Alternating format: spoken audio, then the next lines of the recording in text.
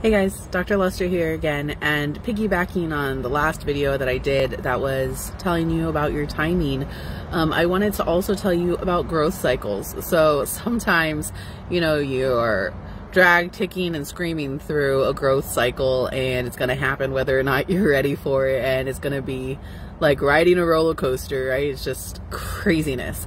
But sometimes you're waiting for those growth cycles to come and you're like, I'm ready, I'm ready, whatever this is, I'm ready and clearly not quite yet. You know, you're still stuck in that that season for a reason.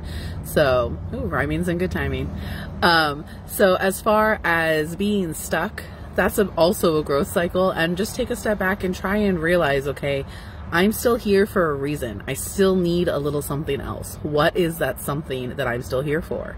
Um, and taking that into its own context is a beautiful thing that will bring growth.